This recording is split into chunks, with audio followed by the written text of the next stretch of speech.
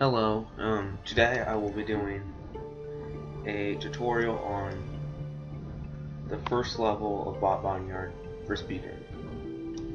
So normally you would start at the new screen if you were going to speedrun the whole game, but since I'm just going to do one level per video, I can start at the level selection screen.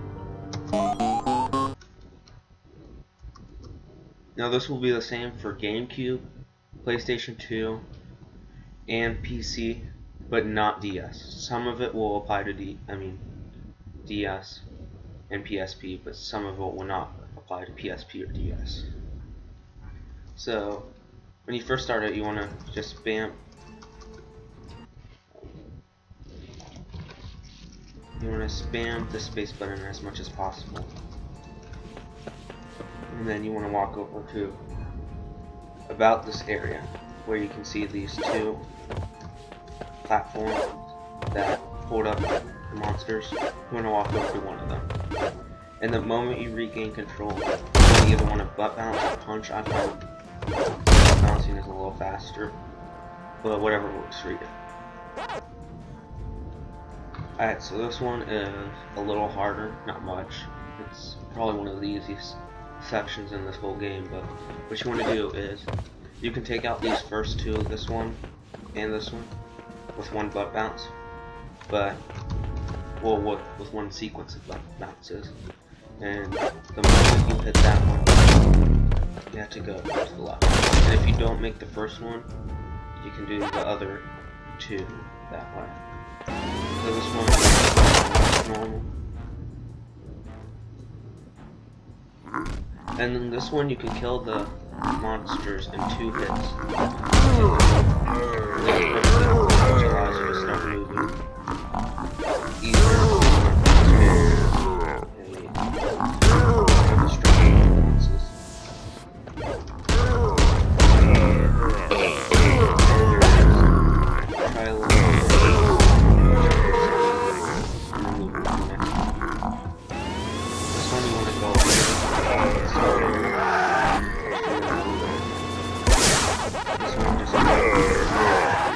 Now run are important in this game, but they're not as required as World 2, but they'll greatly improve time. Now this button right here is kind of free, you can't skip it at all. As far as, you know. You can take damage there, but you can also wait for it to go away. Really damage. And like that extra health It can be used for what on so you don't game over. If you're doing a perfect speed I guess want to grab that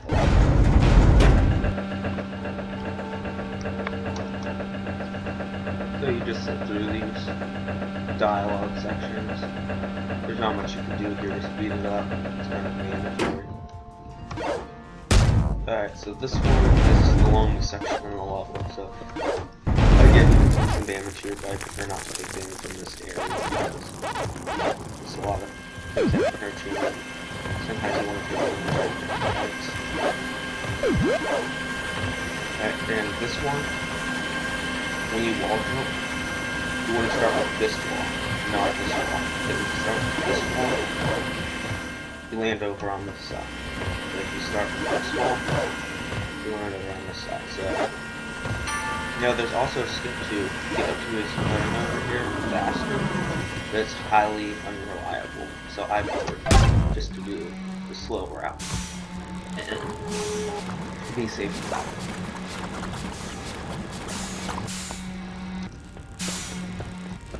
So, once you finish the to um, walk over to where there's like a cross tiles. And you want to start vertical and aim yourself towards the area where you want And the moment you release vertical, you also And for this jump, you want to start on this wall. And now this uses uh, the mechanic that jumping makes you go faster. So sometimes you can Like right here, you to take damage. It does let you go faster. See how when I just to jump, how go. So now you can run over really not like it's not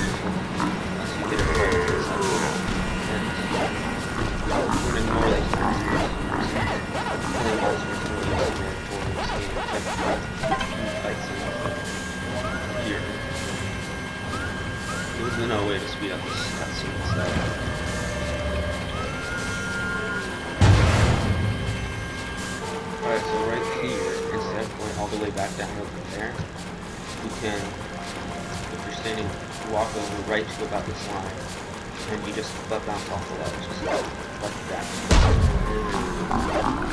And save you probably about 10 to 20 seconds.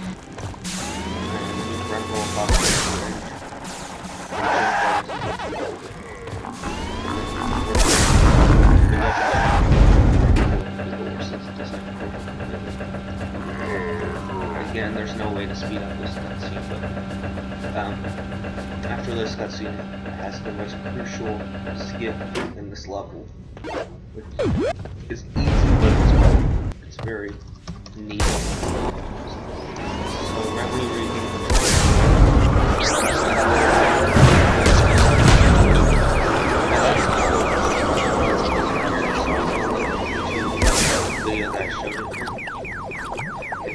Can keep reviewing it and figure out how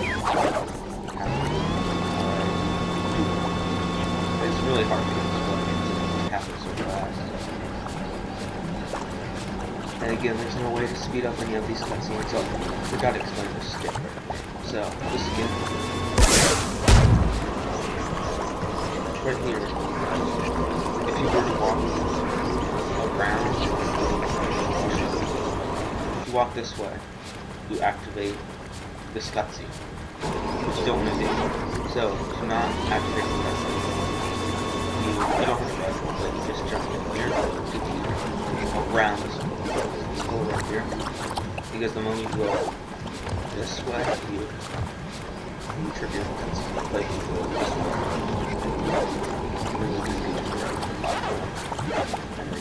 way. But be careful when you're making your way to the end. Don't get too close to this um, glass units because you will trigger it. And then that is the end of the.